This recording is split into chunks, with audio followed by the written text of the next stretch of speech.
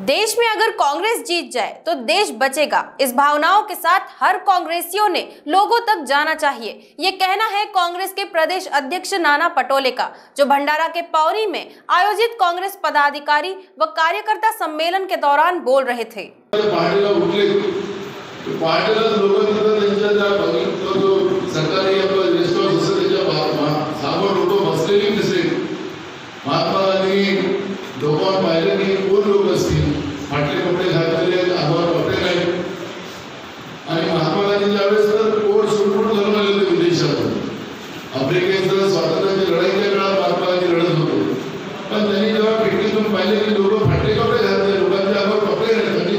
त्यांनी बसले. त्याच वेळेस त्यांनी मज्जा मागवला. आपला सुटफुट बाजूला सारला आणि या देशाच्या लोकांना जिथपर्यंत अंगावर कुठे येणार नाही तिथपर्यंत मी याच पक्षावर राहणार ही भूमिका त्या काळात महात्मा गांधींनी घेतली. त्या गुजरात मधल्या जन्माला महात्मा गांधींनी ही मानसिकता घेतली आणि आज ज्या संविधानाला काँग्रेसने गेल्या साठ वर्ष सांभाळून संविधानाने सामावून ठेवलेल्या संविधानामुळे चार विकणारा आपण देशाचा प्रधानमंत्री झाला. आज दिवसातून तीनदा आपण सूर बदलवतो आणि लोक उघड्यावर झाले कपड्या विना लोक राहायला लागले. अशी परिस्थिती या देशामध्ये निर्माण झाली. आणि म्हणून अशा या परिस्थितीमध्ये आपल्याला आता जी स्वातंत्र्याची लढाई त्या काळात लढली जात होती तीच लढाई आपल्याला आता लढावी लागणार आहे.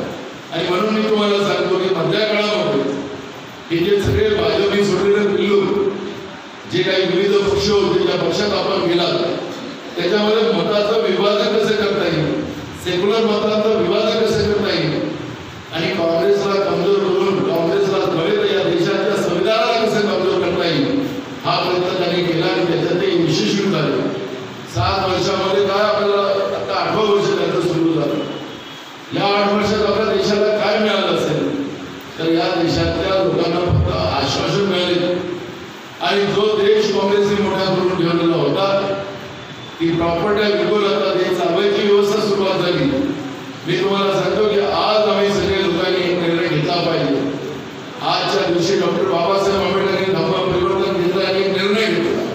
आणि त्याच्यामुळे बौद्धाचं शिक्षण अहिंसेचा धर्म समतेचा संदेश त्या माध्यमातून डॉक्टर बाबासाहेब आंबेडकरांनी आजच्या दिवशी म्हणून आजच्या दिवशी आपण हा देश देशाचं संविधान वाचवण्याचा संकल्पना घेऊन आपल्याला या ठिकाणी जायचं. कोण काँग्रेसचा उमेदवार उभा राहील? आणि काय होणार तिथं तो भाग नंतरच आहे. पण आता काँग्रेस जिंकेल तर देश वाचेल या पद्धतीची भूमिका आपल्याला लोकांपर्यंत पोहोचवायची